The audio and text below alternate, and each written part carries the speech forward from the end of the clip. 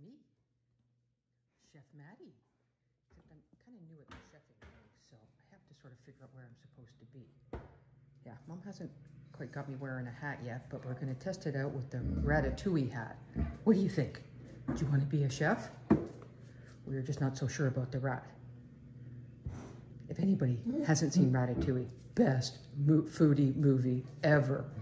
Okay, maybe the one with Bradley Cooper was really, really good, but um, Bon Appetit from Ratatouille is awesome. Oh, I think, do I hear Ellie coming? No, maybe not.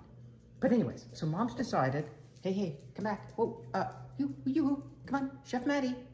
You're on set here, come on. Come on, here you go. Okay, on this side, over here, come here. Over here, baby, come here. Come on, we're gonna make strawberry jam. Okay, you wanna try strawberry? What do you think of strawberries? I'm not sure about strawberries yet. Okay, you got your strawberry. Dan Mom will probably be cleaning strawberries up off the floor.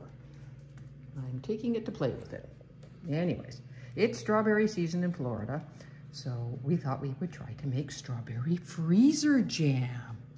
Yep, that's one of Aunt Pam's specialties. So she got Mom the recipe, which is really quite simple. Maddie, you, Maddie, Maddie, come back. Come on, Chef Maddie. Okay, so we have four cups of sugar, two cups of strawberries, one Wandering Great Dane, and a package of Certo liquid, liquid pectin. So we put all this together and, oh, here comes Chef Ellie. Ellie, are you coming? Are you joining us? Come on. Here we go. Oh boy, it's Chef Ellie. Okay, we're trying it again. Anyways, put it all together, mix it up, stick it in the freezer, and you have jam. So let's see what happens. What do you think? Chef Ellie.